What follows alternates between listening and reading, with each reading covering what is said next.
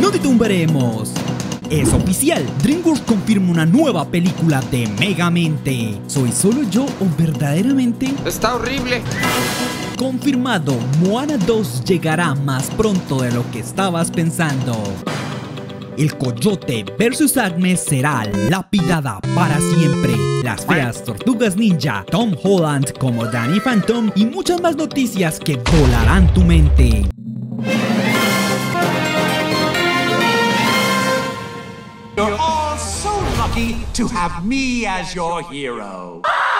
Empezamos esta nuevísima edición de Naughty Toon con las últimas noticias de animación. Es oficial, Megamente no solo volverá en una nueva serie animada, sino que además DreamWorks finalmente se atrevió a darnos la anhelada secuela que tanto estábamos esperando. Lastimosamente, su primer tráiler decepcionó a todo el internet. La decepción, la traición, amigo. Esta nueva película se titulará Megamind vs. The Dune Syndicate, en donde nuestro ex villano favorito aún seguirá causando más caos del que prevenir al ser un héroe novato, especialmente cuando su antigua banda, el Sindicato de la Perdición, regrese en búsqueda de su viejo colega. Si sientes que algo está rotundamente mal, estás en lo correcto. Esta nueva película no será estrenada en cines, sino que será una precuela de su próxima serie animada para streaming titulada Megamind Rules. Desde su anuncio, los fans quedaron terriblemente decepcionados al saber que esta nueva secuela no reincorporará al célebre Will Ferrell como la voz de Megamente. Además, por el tráiler perciben una mala escritura y temen por lo barata que pueda llegar a ser su animación 3D. ¿Qué idiota diseñó esta cosa? Usted, señor. Ah, bueno. Wilson, despida a alguien. Todo esto causó que su tráiler oficial recibiera 96 mil no me gusta versus los miserables 6500 me gusta que logró recaudar. La única chispa de esperanza para estos proyectos es el regreso de los escritores originales de Megamente, Alan Schoolcraft y Brent Simons. Pero ¿será suficiente? Megamente versus el sindicato de la perdición y Megamente manda asaltarán a Peacock para el próximo primero de marzo. Fue entonces que tuve la excelente idea de fingir mi muerte.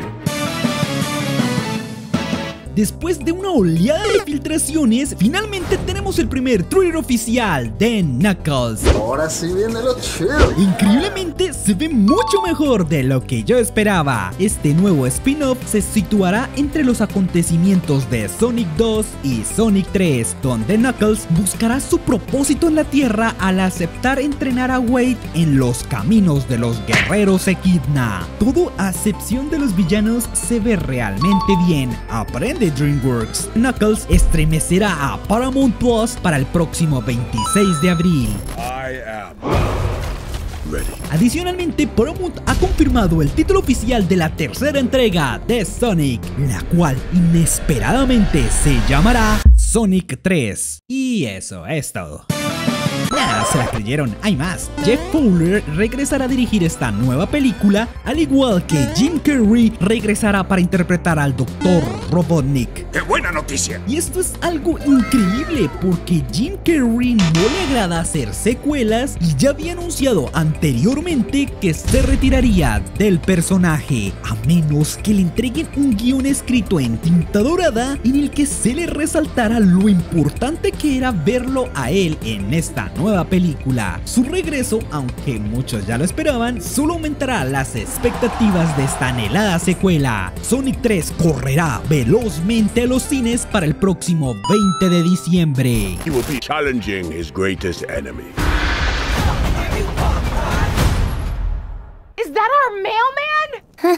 Pero no todas son buenas noticias para Paramount. Si te desagradó la animación de Megamente, prepárate para ver algo aún peor. Paramount Plus ha liberado el primer teaser trailer de la próxima serie animada de Las Tortugas Ninja. Y Está horrible. esta nueva serie se titulará Tales of the Teenage Mutant Ninja Turtles y retomará con los acontecimientos de su anterior película Caos Mutante, donde ahora nuestros héroes héroes novatos tratarán de equilibrar sus vidas como estudiantes de secundaria mientras enfrentan nuevos enemigos. Esta nueva serie aún no tiene fecha de estreno en concreto, pero yo los mantendré al tanto. Wow, sí que juzgamos muy mal al resurgimiento de las tortugas ninja. Pobre cosita fea.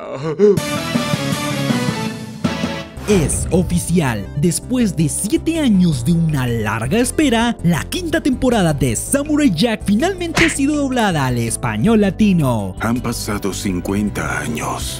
Juan Guzmán fue el único miembro del cast original que regresó al darle la voz a Jack, mientras que Marco Di Cesare reemplazó a Enrique Mujica como la voz de Aku, quien a pesar de su retiro regresó para audicionar para el papel, pero no lo consiguió porque según él ya estaba fuera de forma para el doblaje. Si no me crees, escúchalo tú mismo en este versus exclusivo para Notitoon.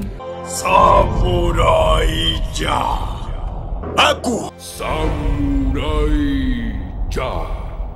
Aku. Este fue un fandub hecho por el mismísimo Enrique Mujica, grabado hace dos años, versus el doblaje oficial realizado por Marco Di Cesare. Pues verás, un pequeño pajarito me dijo que...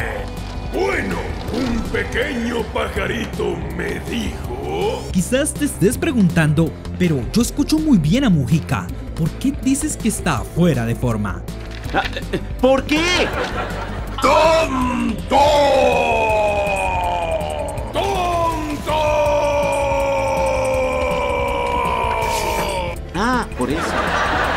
Aunque Mujica aún logra interpretar muy bien al personaje, este le genera un gran desgaste y simplemente no logra seguirle el ritmo. La quinta temporada de Samurai Jack ya se encuentra disponible con su doblaje latino en HBO Max, completando finalmente con el doblaje oficial de la serie. Bueno, ha sido un placer reencontrarnos, pero ahora debo ir.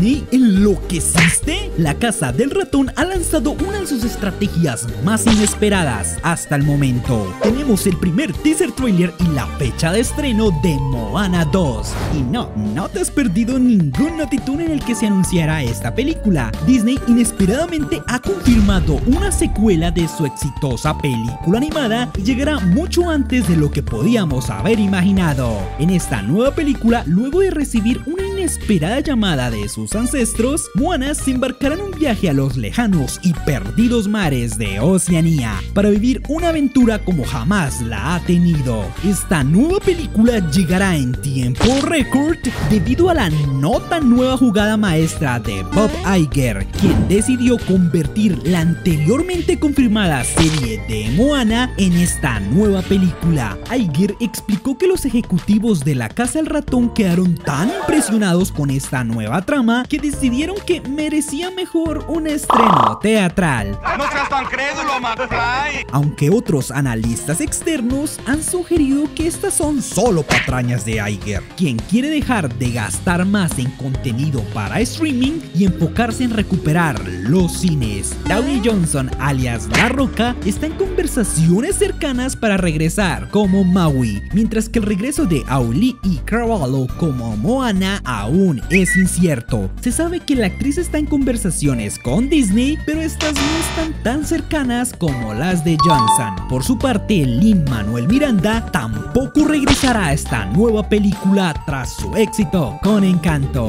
Un nuevo rumor afirma que el live action de Moana se ha retrasado, pero que aún sigue en pie. Moana 2 empapará los cines para el próximo 27 de noviembre. ¿No tienen el presentimiento de que algo muy malo va a pasar? สอง Igualmente, la Casa del Ratón ha confirmado que Zootopia 2 llegará en algún momento del 2025, mientras que Toy Story 5 y Frozen 3 llegarán en el 2026. Por su parte, Pixar liberó un nuevo teaser trailer de Intensamente 2, que emocionará a los cines para el próximo 14 de junio. Y rápidamente nos trasladamos de la pantalla grande a la chica, ya que la Casa del Ratón ha firmado un acuerdo con Chris y Shane Houghton, creadores de Los Vecinos Green, para producir varios proyectos animados en los próximos años, así como brindarles la oportunidad de desarrollar proyectos live action para Disney Channel y animaciones para adultos para 20th Century Television Animation. Probablemente tendremos más de Los Vecinos Green para un buen rato, mientras que las otras series animadas de Disney Channel están al borde de la cancelación. No hay presión. La lucha por la resurrección del Coyote versus Acme puede que haya llegado a su fin, pero con una pequeña pizca de esperanza al final del túnel, pues según fuentes cercanas a The Grab, Warner ha rechazado todas las ofertas que han recibido por parte de otros distribuidores interesados en adquirir el film como lo son Netflix, Amazon y Paramount, siendo este último el único que propuso un estreno teatral completo que le permitiría al público experimentar la película tal y como fue diseñada. ¡Por un demonio, lo que faltaba! Aparentemente Warner rechazó estas ofertas sin la posibilidad de una contraoferta y fuentes cercanas a la película creen que ni siquiera anunciarán estos resultados. Warner simplemente desea cerrar sus libros fiscales al eliminar el film sin hacer ningún escándalo.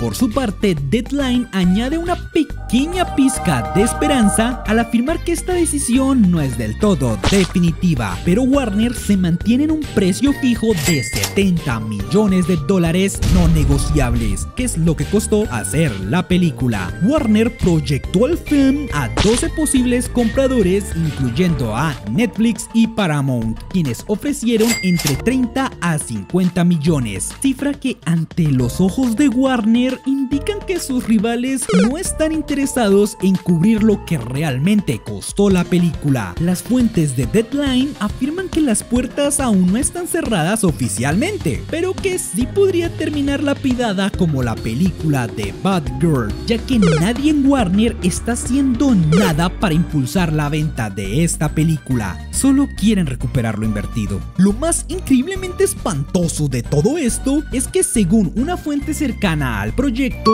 los cuatro ejecutivos a cargo de Warner, incluyendo el infame David Zaslav, ni siquiera han visto la versión final de la película. Y quienes sí lo han hecho, incluyendo al célebre cineasta Phil Lord, han afirmado que este film no es simplemente bueno o superior al promedio, es excelente, una perfecta representación cinematográfica de los Looney Tunes e infinitamente mejor que Space Jam 2, ofreciendo un golpe emocional que ni los más apasionados fans de los Looney Tunes creyeron que fuera posible recibir.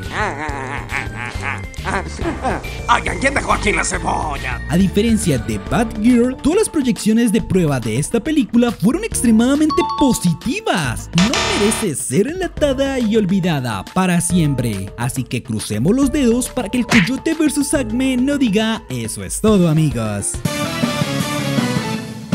Paramount es increíblemente rápido, ya que tenemos una nueva y jugosa información sobre el próximo live action de Danny Phantom, nuevamente de la mano del célebre insider Daniel Richman. Según este nuevo rumor, Paramount sigue avanzando con este nuevo live action, mientras que actualmente está buscando un director que se encargue de este nuevo proyecto, el cual tiene planeado incluir viajes en el tiempo.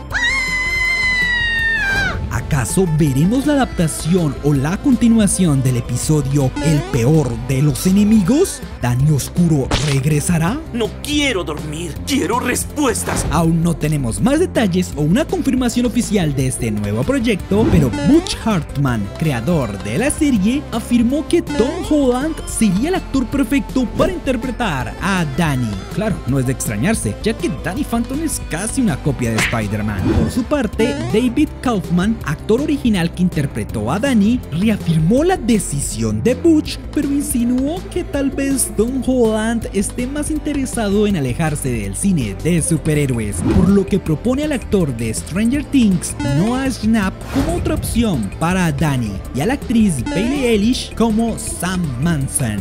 ¡Qué rico! Recordemos que este solo es un fancast y ni Butch ni David están involucrados en el proyecto, el cual está en una etapa bastante temprana de producción, por lo que puede que pase un buen tiempo para que tengamos un cast oficial. ¿Y a ustedes qué otro actor les gustaría que interpretara a Danny? Comenten, comenten, comenten. Un saludo para Chris Rock. Gracias por ver mis videos. Nos veremos en una pronta ocasión. Hasta la próxima.